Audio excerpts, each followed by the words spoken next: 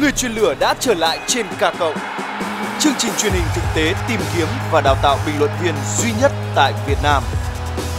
Quy mô hơn, hoành tráng hơn và thách thức hơn. Bạn đã sẵn sàng để thể hiện mình. Đăng ký ngay để tham dự vòng sơ loại và vòng loại tại địa điểm gần bạn nhất.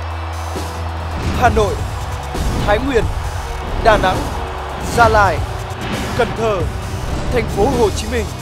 Người chuyên lửa mùa thứ hai bắt đầu tháng 3 2014. Truy cập www.kplus.vn để biết thêm chi tiết. Cá cộng vui